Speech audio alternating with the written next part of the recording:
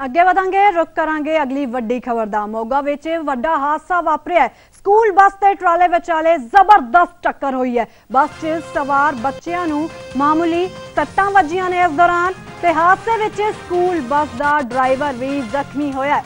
ਬੱਸ 'ਚ 12 ਤੋਂ 15 ਬੱਚੇ ਸਵਾਰ ਸਨ।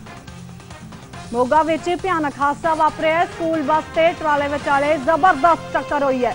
ਬੱਸ 'ਚ ਸਵਾਰ ਬੱਚਿਆਂ ਨੂੰ ਮਾਮੂਲੀ ਸੱਟਾਂ ਵੱਜੀਆਂ ਨੇ। ਹਾਦਸੇ 'ਚ ਸਕੂਲ ਬੱਸ ਦਾ ਡਰਾਈਵਰ ਵੀ ਜ਼ਖਮੀ ਹੋਇਆ ਹੈ। ਬੱਸ 'ਚ 12 ਤੋਂ 15 ਬੱਚੇ ਸਵਾਰ ਸਨ। ਮੋਗਾ ਤੋਂ ਇਹ ਵੱਡੀ ਖਬਰ ਸਾਹਮਣੇ ਆ ਰਹੀ ਹੈ। ਹਾਦਸਾ ਵਾਪਰਿਆ ਸਕੂਲ ਬੱਸ ਤੇ ਟਰਾਲੇ ਵਿਚਾਲੇ ਜ਼ਬਰਦਸਤ ਟੱਕਰ ਹੋਈ ਹੈ। ਬੱਸ 'ਚ ਸਵਾਰ ਬੱਚਿਆਂ ਨੂੰ ਮਾਮੂਲੀ ਸੱਟਾਂ ਵੱਜੀਆਂ ਨੇ। ਹਾਦਸੇ 'ਚ ਸਕੂਲ ਬੱਸ ਦਾ ਡਰਾਈਵਰ ਵੀ ਜ਼ਖਮੀ ਹੋ ਗਿਆ ਬੱਸ 'ਚ 12 ਤੋਂ 15 ਬੱਚੇ ਸਵਾਰ ਸਨ, ਜਿਨ੍ਹਾਂ ਦੇ ਮਾਮੂਲੀ ਸੱਟਾਂ ਵੱਜੀਆਂ ਨੇ। ਹਾਦਸੇ ਵਿੱਚ ਸਕੂਲ ਬੱਸ ਦਾ ਡਰਾਈਵਰ ਵੀ ਜ਼ਖਮੀ ਹੋ ਗਿਆ ਹੈ।